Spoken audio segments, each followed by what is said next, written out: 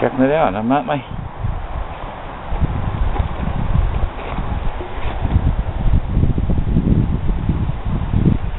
something new, eh?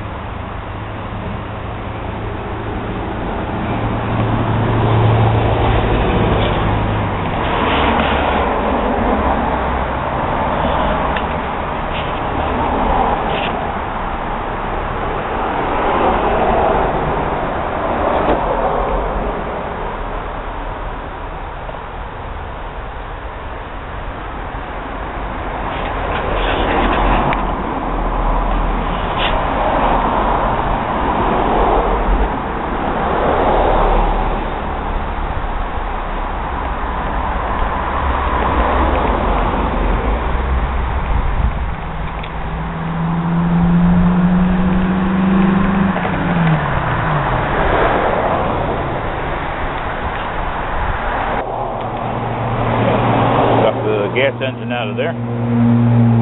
That under wraps here. Should be in good shape, probably.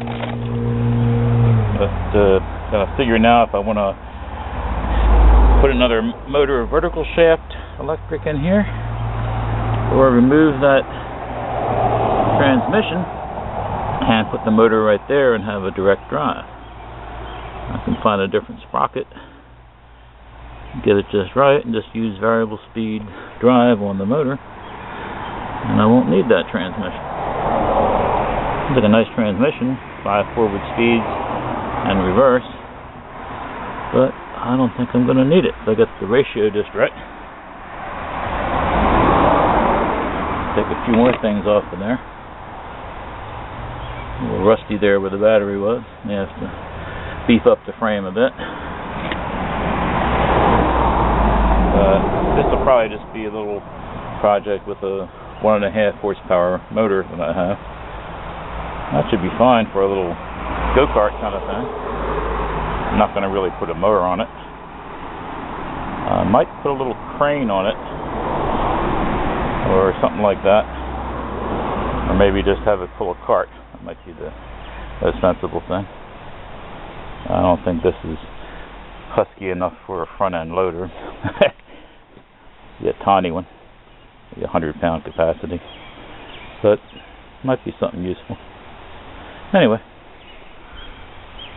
certainly this thing was worth 40 bucks.